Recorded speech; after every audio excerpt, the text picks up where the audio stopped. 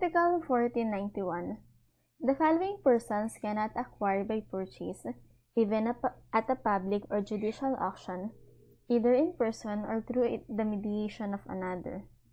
1. The guardians, the property of the person or persons who may be under his guardianship. 2. Agents, the property whose administration or sale may have been entrusted to them, unless the consent of the principal has been given. 3. Executors and administrators, the property of the estate under administration. 4. Public officers and employees, the property of the state of, or of any subdivision thereof, or of any government-owned and controlled corporation or institution, the administrator of which has been entrusted to them. This provision shall apply to judges and government experts who, in any manner whatsoever, take part in the sale. 5. Justices, judges, prosecuting attorneys, clerks of superior and inferior courts, and other officers and employees connected with the administration of justice, the property and rights in litigation, or levied upon an execution before the court within whose jurisdiction or territory they exercise their respective functions. This prohibition includes the act of acquiring by assignment and shall apply to lawyers with respect to the property and rights which may be subject to of any litigation in which they may take part by virtue of their profession. 6. Any others specifically disqualified by law. So, itong article na to, um, so based pa din siya sa capacity to buy and sell. Ito ay um, relative incapacity. So, unlike yung absolute, uh, forever hindi pwedeng magbili or magbenta. Ito, relative. So, um, uh, depende sa circumstances yung incapacity, incapacity niya. So, after matapos yung circumstance na yun, pwede na siya maging, uh, magkaroon ng capacity. So, anong reason para dito sa article na to? Uh, main reason is public policy prohibits the transactions in view of the fiduciary relationship involved. Pag sinabi natin fiduciary relationship, so ito yung um, relationship of trust and confidence. So, may parang friendship. So, ito is ina-avoid niya yung mga taong pinagkakatiwalaan natin na maging greedy or unahin yung sarili nila bago yung interest ng taong nagkatiwala sa kanila. So, mag-exist lang tong article na to um, upon the existence of the duration relationship only. So, or until. So, pag natapos na yung judiciary relationship nila, uh, matatapos na din yung um, incapacity nung taong yun. So, ang first na sinabi dito is um, guardian. So, yung mga guardian and yung properties dapat um, property nung ward or person under his or her guardianship. So, 'di ba um so yung fiduciary relationship pinagkatiwalaan natin tong guardian to act on behalf or to act on behalf of the ward or parang pinagkatiwala yung property muna ni ward kay guardian. So, ang duration nito, pag natapos na yung relationship nila as guardian and ward, pwede nang i-acquire ni guardian or um, ng taong ito yung property ni ward. Pero dapat hindi na mag-exist yung guardianship nila. And then next is yung agent. So, um, so agent, tapos yung property under his agency. So, mag-exist lang yung relationship kapag uh, during the period of um, nasa contract of agency. Once na hindi na siya agent, pwede na rin niyang i-acquire itong property na ito. So, for example, si agent, sabihin natin ito si agent, binenta niya itong property. So, um, under his agency, um, pasok sa kanya yung pagbebenta ng property on behalf of the principal.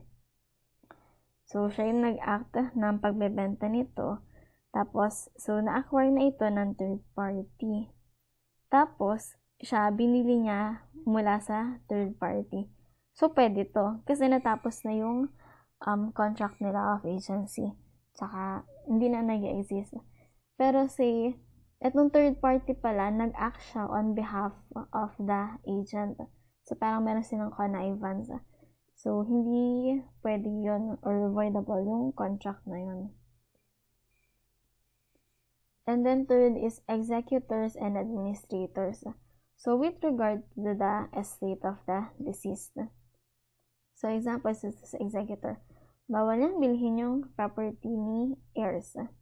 Pero, um, si heirs, pwede niyang ibenta kay agent, ah, kay executor.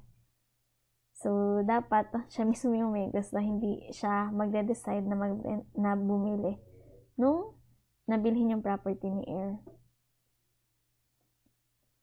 And then, fourth is public officers and employees. So, hindi pwedeng bumili ng property of the state yung public officers and employees. Pero, within their jurisdiction lang. So, for example, ito si Binay.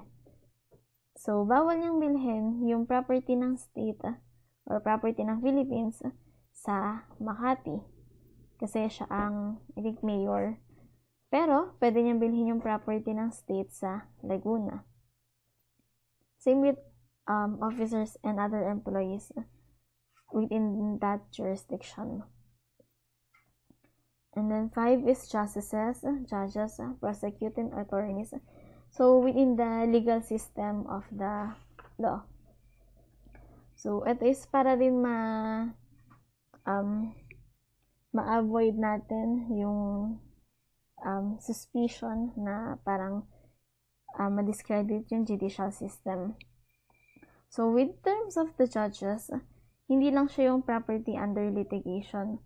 So, litigation ito yung object ng ating um, uh, case or yung kaso. So, kasama dito din dito yung um, binigyan niya ng um, writ of execution. So, ito yung pagkamkam ng property ng isang tao, tapos i-auction. So, yung inisyuhan niya nito, hindi rin pwedeng, hindi niya rin pwedeng bilhin yung property under this, yung property under litigation. For, so, for example, may minor gauge na property, tapos ito yung object nila ng um, um, kaso. So, hindi pwedeng bilhin ito ni uh, lawyer, ni judge, ni lawyer, ng mga clerk, ng uh, judicial office. So, lahat sila hindi pwedeng bilhin yung under um, litigation kahit ito ay sabihin natin naka-public auction. And six is other persons disqualified. So, um, other persons um, excluded by law So, example nito is yung aliens, bawal silang mag-acquire ng private agricultural land. Um, so, recap natin. So, first is yung guardian, then agent, executors, and administrators, public officers and employees, and justices, um, judges, and lawyers. So, for the first three, ang result ng pagbili ng mga taong ito with concern dun sa um, dapat nilang inaalaga ang mga tao is voidable yung contract nito. So, valid siya until i-void. Kasi ito ay private interest lang. Kapag etong mga, ito naman, yung mga public officers, so bumili siya ng um, property ng estate under his administration, so ito ay void kasi ito ay makakaapekto sa public interest.